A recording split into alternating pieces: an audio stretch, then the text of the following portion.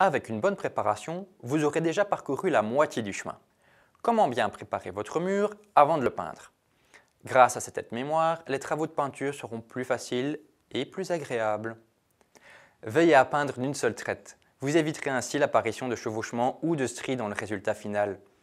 Veillez à disposer de tout ce dont vous avez besoin avant de sortir la peinture.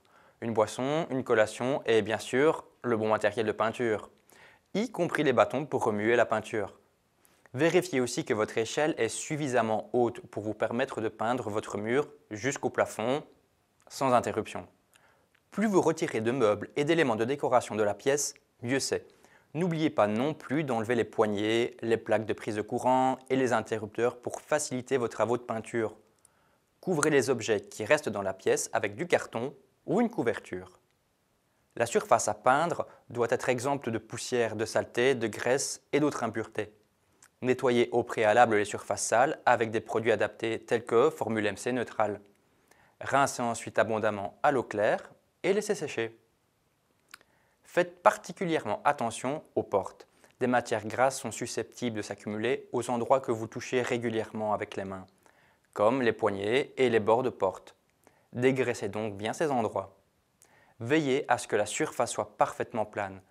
Les trous et les fissures dans le mur doivent être comblés à l'aide d'un mastic approprié. Collez soigneusement les surfaces à protéger avec un ruban de masquage adapté au type de surface. Les différents rubans de masquage diffèrent non seulement par leur largeur, mais aussi par leur pouvoir adhésif et la durée pendant laquelle ils peuvent rester sur la surface sans laisser de résidus de colle. Ne manquez pas de regarder notre vidéo, choisir le bon ruban adhésif pour obtenir une ligne bien droite. N'oubliez pas non plus de préparer votre nouveau pinceau ou rouleau avant de l'utiliser.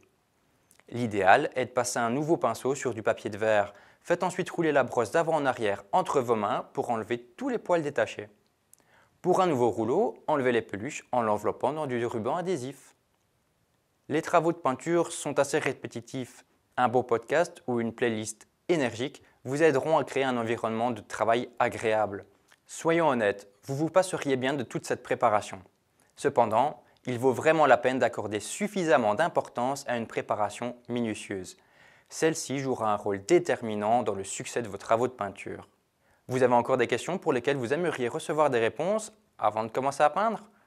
Rendez-vous sur le site web de Colora. Vous y trouverez toute une série d'astuces de peinture. Vous pouvez aussi vous rendre dans votre magasin Colora pour plus d'informations et de conseils. Colora